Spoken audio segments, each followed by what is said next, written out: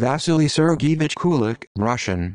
Cyrillic capital letter V, Cyrillic small letter E, Cyrillic small letter S, Cyrillic small letter I, Cyrillic small letter L, Cyrillic small letter I, Cyrillic small letter short 1, Cyrillic capital letter K, Cyrillic small letter U, Cyrillic small letter L, Cyrillic small letter I, Cyrillic small letter K, the 17th of January 1956, the 26th of June 1989 was a Soviet serial killer, convicted for the killing of 13 people and nearly 30 rapes and assaults in Irkutsk between 1984 and 1986. Originally a serial child rapist, Kulik was a violent pedophile and gerontophile that targeted children and elderly women in Irkutsk over a two-year period.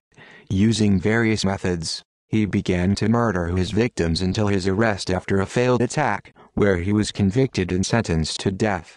Kulik was executed by firing squad in 1989.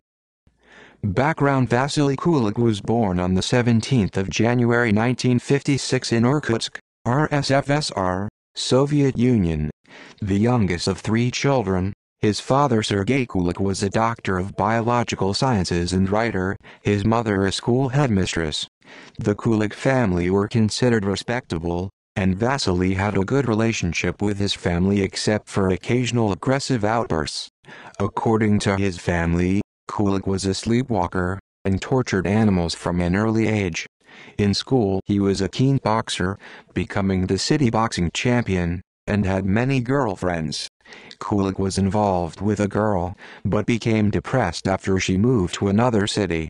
At age 18, Kulik served in the Soviet Army from 1974 to 1976, and after his discharge from the army he began studying to become a doctor at the Irkutsk Medical Institute.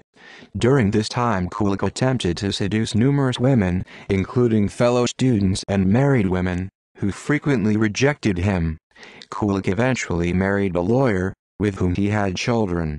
In 1980, Kulik was robbed and severely beaten by youths, where he received injuries to his head. Kulik later stated, the last five to six years after the head injury I regularly visit the thoughts of a sexual nature, where I perform sexual acts with children. At first, I was only thinking about the girls, and then about the boys, as well as the old women, the same year, Kulik wrote a novel in which the main character forms a relationship with a nine-year-old girl with the sole purpose of having sex with her.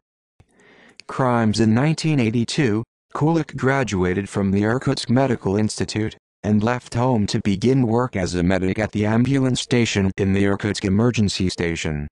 Kulik frequently used the information of his patients to break into their homes, where he committed a series of child rapes, very few of which were reported to the police. Kulik committed his first murder in 1984, when he drugged, raped and strangled an elderly woman he encountered on the street.